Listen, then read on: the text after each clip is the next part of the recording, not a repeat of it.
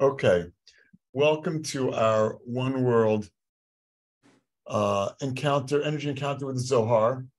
We are at verse 14 of Emor, which is page 105 in my volume 16.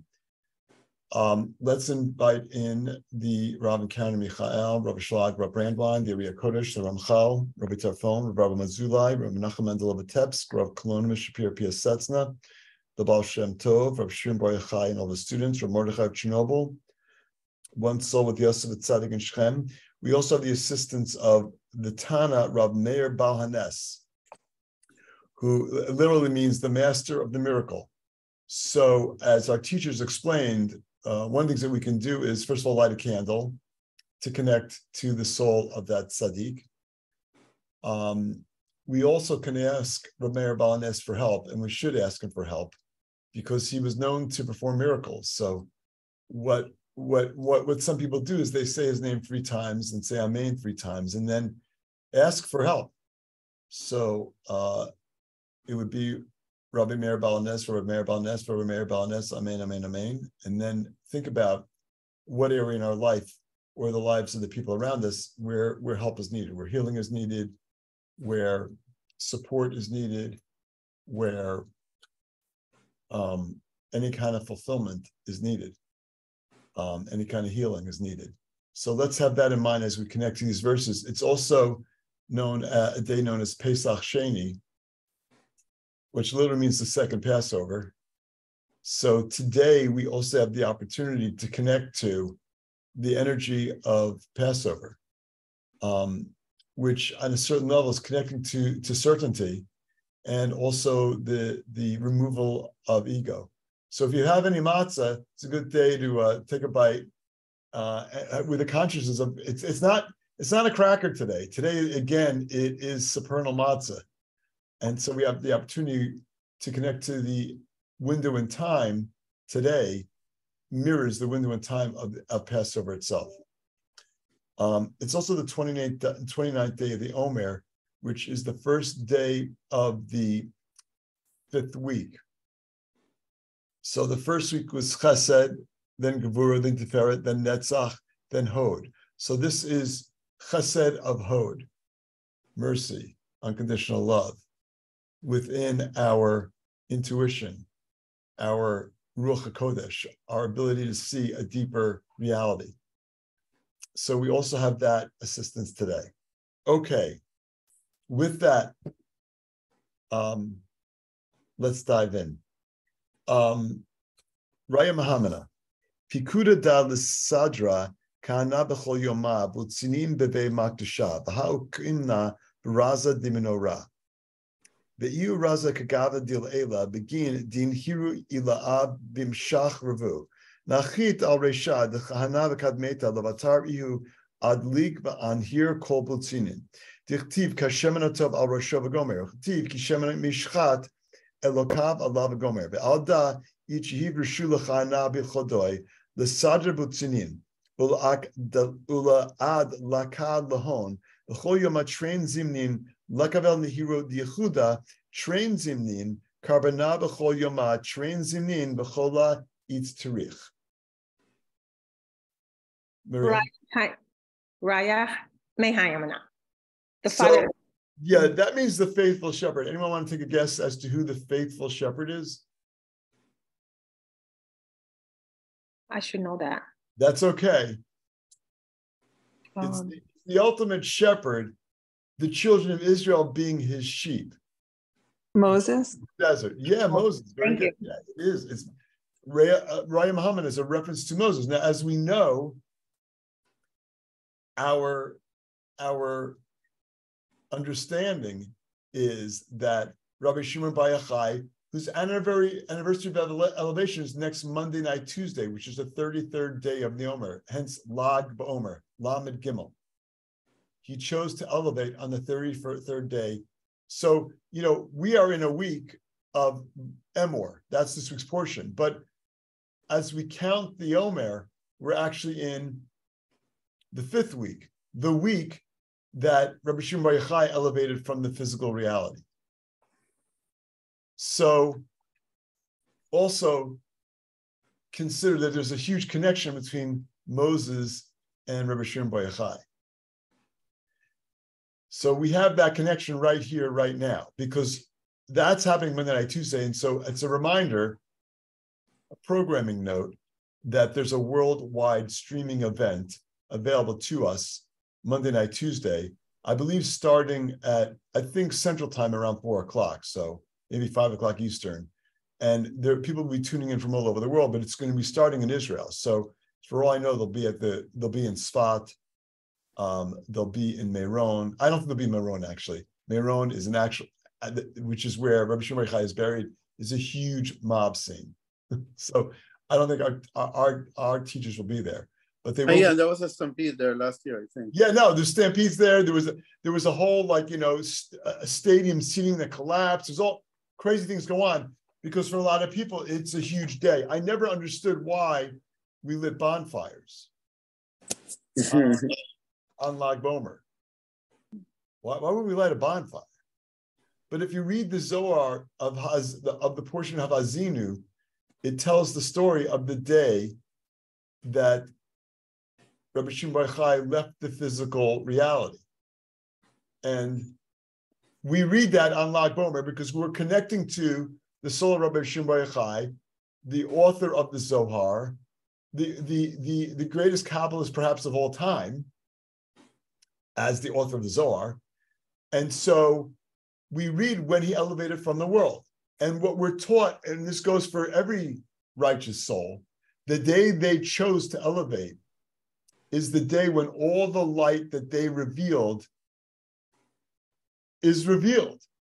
I actually saw something, uh, a scientific report that people experience a heightened level of consciousness as they're about to pass. I saw it in yesterday's news. Like there's an effusion of tremendous consciousness, which reminds me of the movie with Bill Murray where he says, uh, he says something like the Dalai Lama promised him total consciousness, but uh, when he passes away, like I have a random, it's a random like line of comedy, but it's but science actually is backing that up. But from a Kabbalistic perspective, all the light that we revealed in our lifetime returns on our day, on our day that we elevate. And that light returns every year on that day. That's why the, the death anniversary, the day, the anniversary of elevation of a righteous soul is a day we always recognize. So, like today, it's Meir Baal HaNes. So many people will, will light candles to connect to that soul or we'll study something that they wrote. So again, on on on Monday night, Tuesday, Lag Ba'omer, we read the Zohar. We read the Zohar every day, but it's it's it's even more so a connection to um, all the blessings available to us in the Zohar on the day that the author of the Zohar, Bishum Yochai, chose to elevate. Anyhow, in the narrative about the day he elevated, he is, his house is surrounded by fire. It's a physical manifestation of all the light that he revealed in his lifetime. I assume that's where the idea of lighting bonfires comes from on Lag Ba'omer. But we don't need to light the bonfire. We don't. A lot of people do. We don't need to do a lot. We just, we need to connect to the light, and the way we connect to the light is what is the energy that's embedded. It's the inner energy of the Zohar. It's the teachings of Rabbi Shimon Chai. It's all that wisdom. It's all that light that returns in full force on the 33rd day of the Omer. It also happens to be Hod of Hod. It's the fifth day of the fifth week. So if you look at Hod as this channel for deep insight, clairvoyance, Ruach HaKodesh, prophecy, and it's Hod of Hod, is like the deep insight of the deep insight. It's like doubling down on, on, on, on, on intuition, on deep insight, on clairvoyance. That's what that day, that's the day Rabbi Shimon Bar chose to elevate. Because for him, he was a channel for opening minds up to the, the reality that this is an illusion. What we're experiencing. It's a good illusion. It's good enough to look real, but reality is beyond this curtain that we are encountering on a 24 7 basis. Okay. Any questions? So in, in terms of this, this relationship between our world, this physical world, and the deeper reality, we have this idea that, hey, they used to light a menorah, a candelabra in the temple. Where they needed they needed light. Is that what it was about? Just like candlelight? So let's let's read on, Maria. The priest is commanded to daily arrange lamps in the temple. Okay, so why the priest? Why not the Le- Levites? Why not the head of the tribes? Why not the governors of the land? Why not the children? Why the priests? What is it about the priests that they merit to light the candles? Well, what is the candles? What are the candles? What is the menorah? Is it just like an icon? You know, it's actually on the seal of uh, the state of Israel, the modern day state of Israel. What, is that? What is that with and and let's make a distinction. The candelabra we're talking about is a seven stem candelabra, three, three on each side, and one in the middle. So it's six plus one. The Hanukkah menorah, which we refer to as a Chanukiah, the Hanukkah menorah is four, four, and one. It's eight plus one. It's nine. It's not the same one. Yes, Roshan. Yeah, quick question. Um, there was, I have a accounting of the Omer. Yes, exactly that. Um, but I have the publication that was put out by the center in 2010, I think. And it's got the menorah and a whole series of prayers that go with it. A whole series of of like names and prayers. The whole thing is decorated with all these names and prayers. And it says something about, does anybody actually know what they're doing with that or so do anything with it? you see. Can, I'm gonna try and get Yeah, You yeah, see the words that are in there. right. Okay, so if you look in your connection books, you'll see on the page before that is a. I can't, s- the, the number isn't on this. Oh, here, wait a second, it is. No, it's not. Um, it is one of the Psalms. Which Psalm is it? Let me see if I can figure it out real quickly. So what, what it is, it's a Psalm with, you ready? Forty-nine words. So each of the days of the counting, there is a word that connects to the internal energy of that day. And in the list in our connection books of, of the, the list of the days, it says above it what word is the 49th word in case you can't count them all. Okay? Got it? Um, I Addition- got a better idea, thank you. Additionally, the middle stem, that one, the middle stem has 49 letters. So there's a letter in the middle stem that also corresponds to the day. And here's another one for you. There's a word of Ana Bekoach. Now, wait a second. You're saying Ana Bekoach, that is seven lines with six words is 42. That's not 49. But we count the letters themselves as the seventh. So, so there are 49 words to focus on also that give us the inner energy of that day of the counting of the Omer. So when we're counting Omers, there's extra opportunities to connect to the internal energy of the day. Again, today is Chesed of Hod as the 29th day, the first day of the fifth week. Got that? Maria, I yes? The idea better.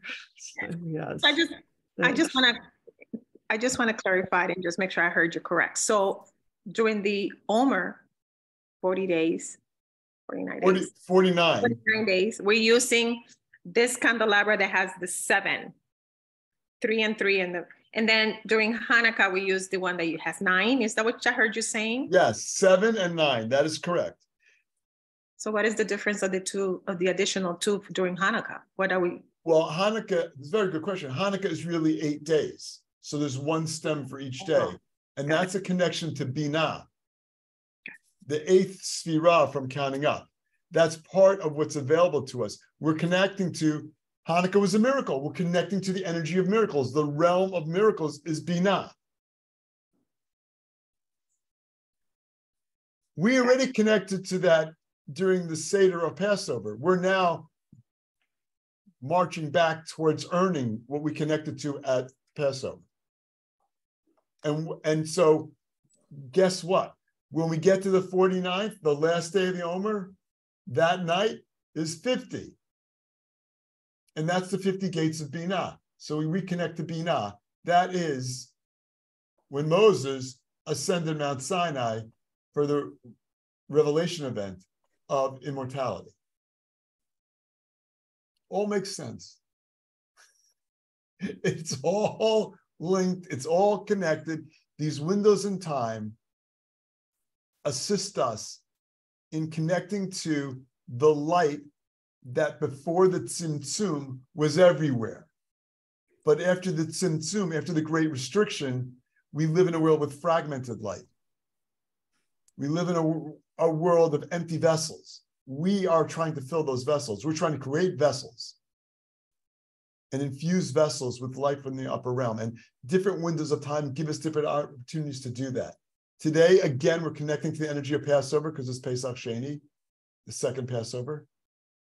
And throughout the days of the Omer, we are ascending to get to the 50th level where we connect to Binah, where we connect to the holiday of Shavuot, which literally is translated as Feast of Weeks. What weeks? The seven weeks we just counted.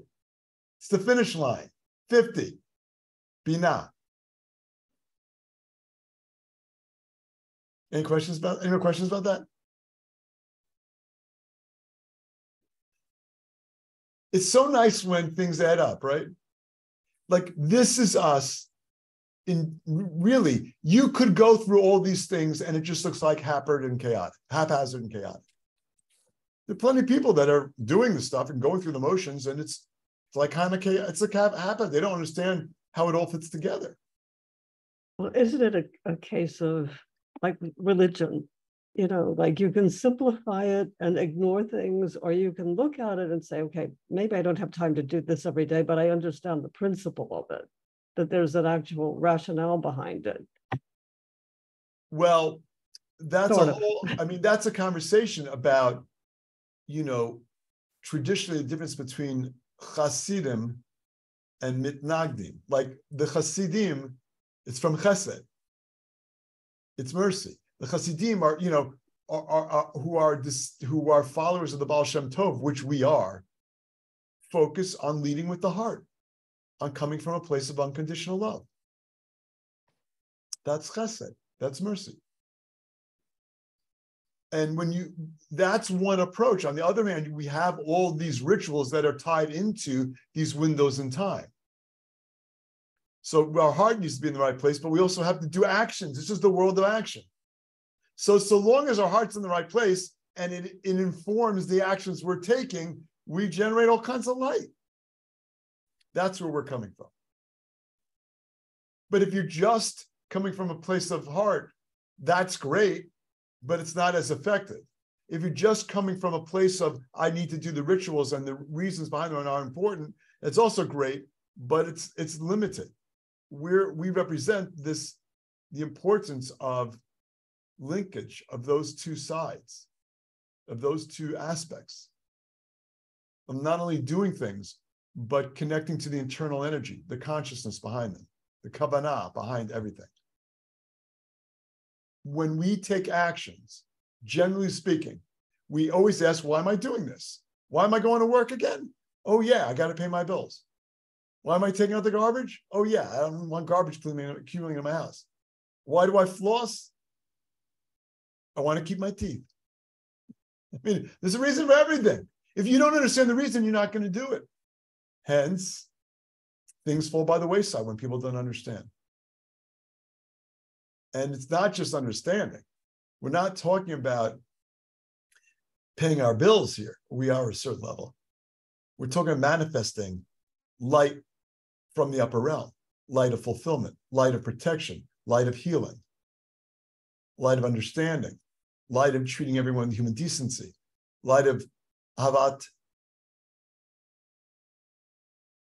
of love, of, of, of unconditional love, of, uh, ahavat chinam, unconditional love, as opposed to sinat chinam, baseless hatred, which is the reason why it, it says in our writings that the temples were destroyed. The Zohars that we've been connecting to on Monday through Thursday of this week. But here we are lighting the candles, lighting the menorah, and it's the priest that has to do it. Why? I mean, he, you know, that's what priests do. Can it be? Is it that simple? Is it because that's what they do? Why? Why is it that they do it? There's there's a there's a there's a passages I, I don't know which portion it's in it may be this week I don't I don't recall now where everyone is bringing sacrifices and Aaron's upset because he's not on the list of sac- people bringing sacrifices and Moses and God says Moses tell him don't worry I got a, I got a thing for him to do he's going to light the menorah in the temple that's how significant this is. It's not just light so people don't trip on the steps.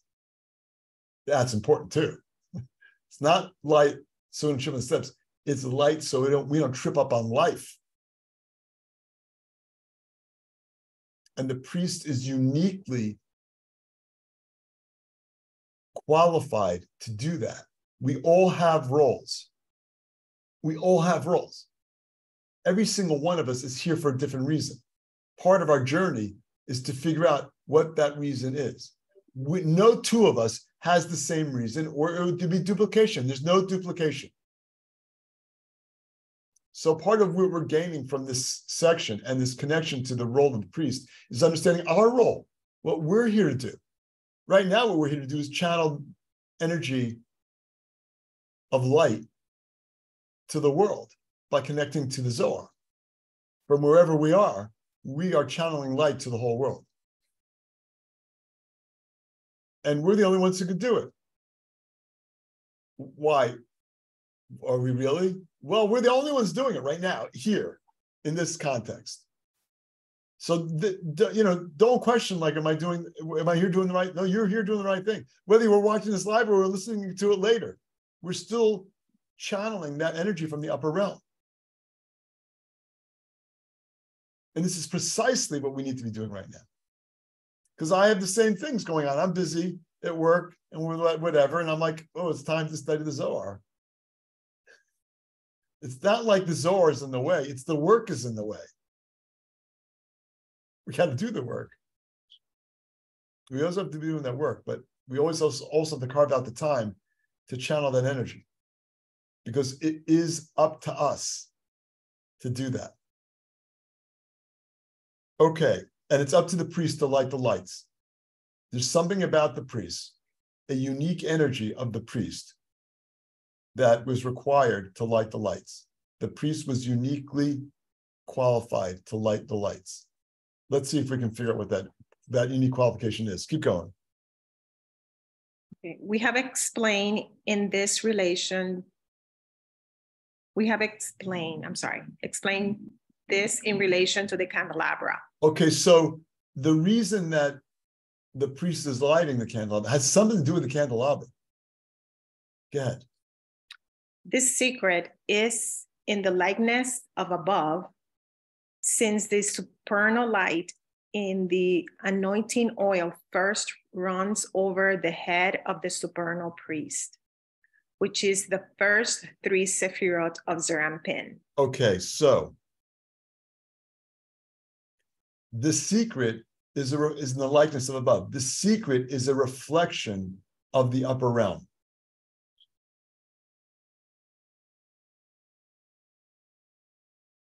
What does it mean, the supernal oil? First of all, the menorah that we light is we're lighting oil. What is it about oil? Why is it oil that we're lighting? Why isn't wax in this context sufficient?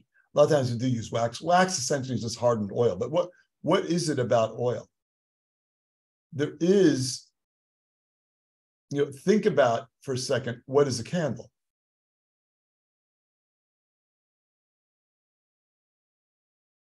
Candlelight exhibits, and we've talked about this, but it merits thinking about it again.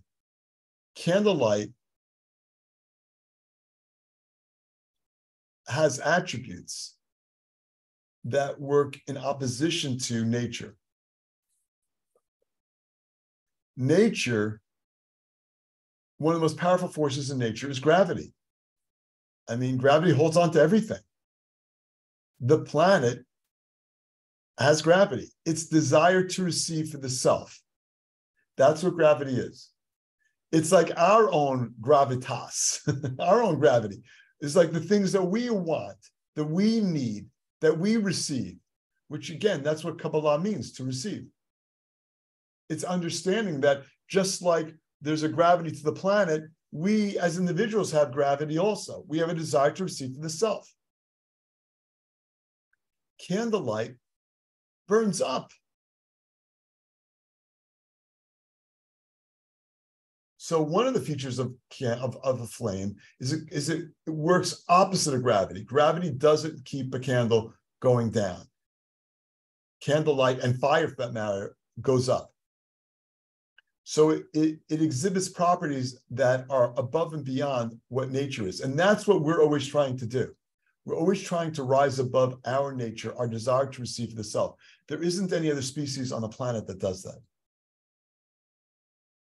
It's it, it's our unique ability to rise above our desire to receive the self. That desire to receive the self is part of body consciousness. It's not your soul's consciousness, it's body consciousness. So when your soul wraps itself up in this body to be here in this physicality to do work, we are connected to desire to receive the self. That's body consciousness. Soul consciousness is the desire to receive the sake of sharing. So we're always trying to overcome a desire to receive for the self in favor of using that desire to receive for the sake of sharing. And that's also what a candle does. I mean, you fill up the stem or the holder on the stem with oil, you put a wick in it, and the wick essentially is drawing that oil to feed the flame. Again, moving opposite to gravity. Oil would be flowing down, but oil actually flows up to feed the flame.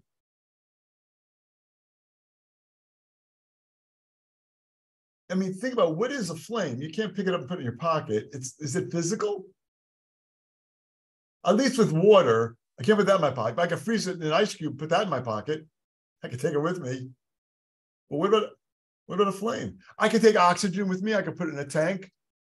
I can take so I mean, you know, the four elements: air, water, earth, and fire.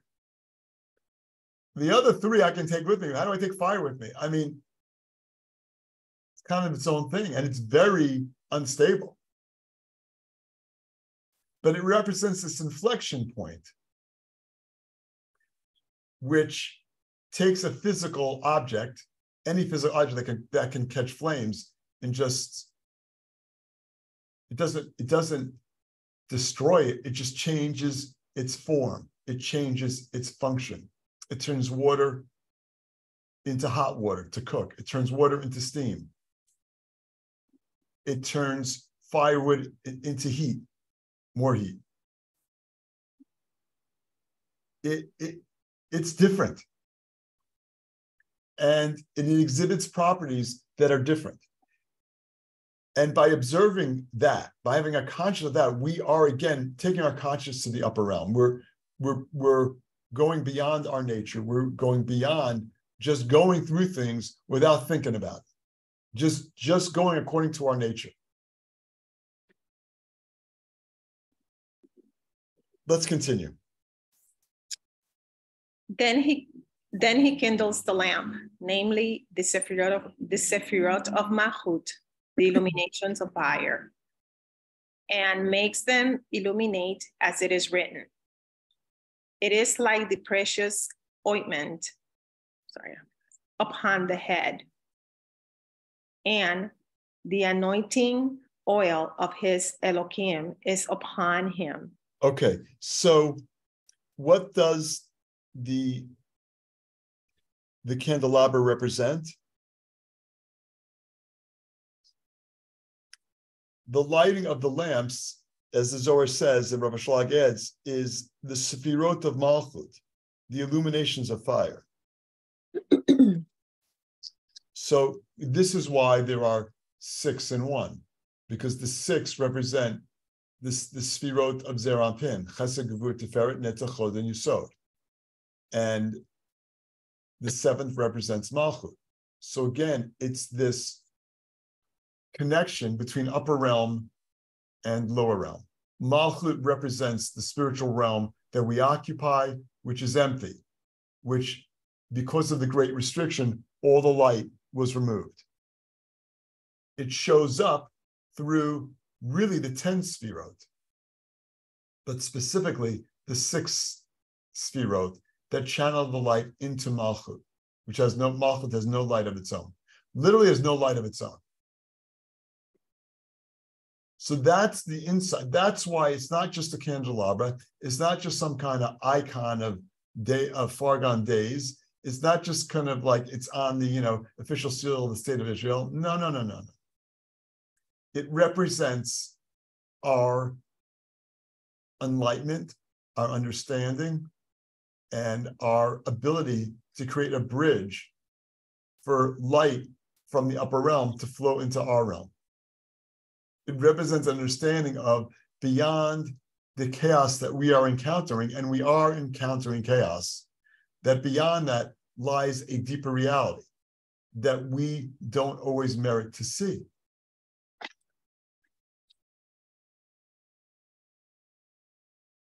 And the reason why the priest is uniquely suited for that is because the priests are connected to chesed. They're connected to mercy. That's what Aaron's dominant feature was. He was a man of peace. He was claiming peace between everybody. He was all about that unconditional love of chesed.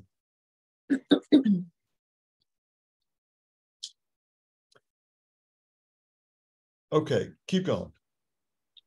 Thus, only the priest is permitted to arrange the lamps and light them twice a day to correspond to the illumination of unity that occurs twice, and the daily offering, which is the offered twice daily. All that is needed. Okay, so this was something that took place twice a day. And what they say about that particular psalm, which is, hang on a second. That is embedded within the menorah that's in our, our connection books. It's it's verse 67 of Psalms. Okay, so again, it has 49 words. So there, and the middle stem has 49 letters. So those are opportunities that we have of every day of the counting of the Omer to connect to that unique energy of that day. But the other thing that we're taught is reading that. I mean, you can read it like this, just as you know, you would read any other psalm, or you can read it as it's embedded in the candelabra. And when you read it as embedded in the, by the way, you know, you you you the words go down. Like you're not supposed to turn your head. You're supposed to know it well enough that you can follow it in the outline of the candelabra. It's next level. When you do that, we're lighting the menorah. We are the ones lighting the menorah. And when we light that menorah, we are that candelabra, we are opening up those channels just wait like the priest. The priest can't isn't lighting that menorah now. At least the priest in the terrestrial realm, in our physical realm. That's us reading that, connecting to it. We do it, we have opportunities every day to do it. So as we land in that candelabra, and I don't have the book in front of me for reference, and maybe thus reference, are we lighting it left to right, right to left? Le- yeah, we're we're lighting, we're reading the left stem first, correct? So it's the one in the left. Yeah, it's going. We're we're, we're reading the left stem first, and it's and the words go down and make a little, you know. Yes, Okay. that's what, and if you can't read the words, then then scan them with that consciousness of creating a connection to the upper realm through the channels that we're provided with, with which are the six sfirot, chesed, v'ut, tiferet, netzach, hod, yesod, and manifesting them into malchut. That's that's what is behind the candelabra. And you know, and we want to come from a place of we want to be thinking unconditional love. We want to be thinking about healing. We want to be thinking about all the fulfillment that that we're looking to channel for the. We're doing it not for ourselves. It's desire to receive the sake of sharing. We're making this connection for the world and the people around us. Let's try one more. I'm not sure we'll get through it, but we definitely will be connecting to the the energy within it. The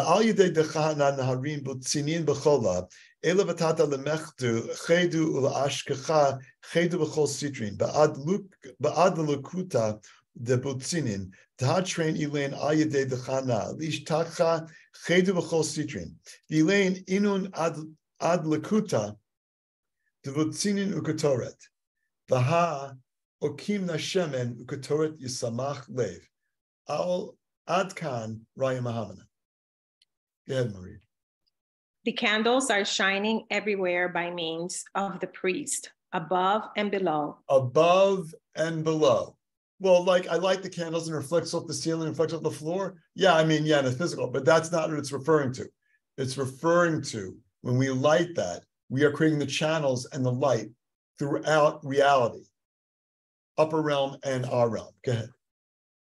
So there will be rejoicing, and so that joy will abound in all directions, namely right and left. With the lighting of the lamps, Okay, period. So. What does joy have to do with it? You can't force joy. So, that's not what it's about. So, where is the joy in doing this? And arguably, if you can't feel the joy, something may not be right because we're doing this so that above and below, so there will be rejoicing, and so that joy would abound in all directions. What is this? Like a birthday cake? Everyone gets really happy when we light the candles and we want to see someone blow out the candles. What what is it? What is it? well, isn't isn't it that when we're connecting in our prayers on our lighting is just for us to receive it the same way that we receive, asking to receive that joy for so we also share with the world. Yeah, Isn't that the job to do our job? absolutely. And and additionally, I mean, I'm to say it a little bit different. When you connect, when you know what you're doing is precisely what you're supposed to be doing, I don't have any fear. I don't have any uncertainty. I don't have, I know what I'm doing is what I'm supposed to be doing. I'm joyful. I have no reason to not be joyful. This is exactly what I'm supposed to be doing right now. And that creates alignment between your physical consciousness and your soul consciousness. When we are physically engaged in things that are channeling light into the world for the world, when we're taking a desire to receive and transforming the desire to receive for the sake of sharing, this is us as channels for the world. Not an opportunity for ego. It's not about us, but it is kind of about us because it's what we're doing. So this is an opportunity to connect to joy above and below. It's always joyful above. it's down here where we lose track. It's it's but it's us internally connecting to the unconditional joy, which is in our hearts 24-7, but we lose the connection because of the distractions of physicality and the illusion that things aren't okay. It's all good. Even when it's not, it's all good. The light has your back. even when things aren't going, there's a when things don't go right, there's a message there. The light is assisting us. When we experience, I just listened to a podcast from Michael and Monica, one of one of um, their spiritually hungry podcasts a few months ago, but I just stumbled on. It's like, what is the deal with uncertainty? It's an opportunity to grow your certainty. It's there to help you. Everybody experiences uncertainty. That uncertainty is assisting us in getting to our next level. I wake up to it. Wait a second, what am I doing? That's right. I figure it out. Now I know what I'm doing. And when so when there is this alignment between what we're here doing and our soul's purpose, it opens up all kinds of channels of joy, which we need to be present to, which we need to feel, which we need to make available to the world. Okay, keep going. For those two are performed by the priest, so that joy would abound in every direction. The kindling of the lamps and incense. We have already explained that ointment and perfume incense rejoice the heart. So, really? Yes.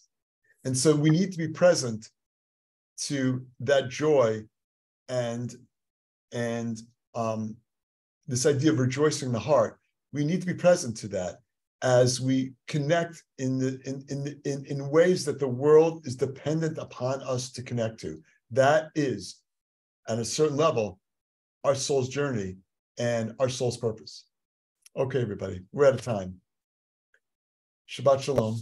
Shabbat shalom. Shabbat love you all. Have a have a great Shabbat weekend and see you all soon. Thank you. Thank you. bye bye Shabbat shalom. shabbat shalom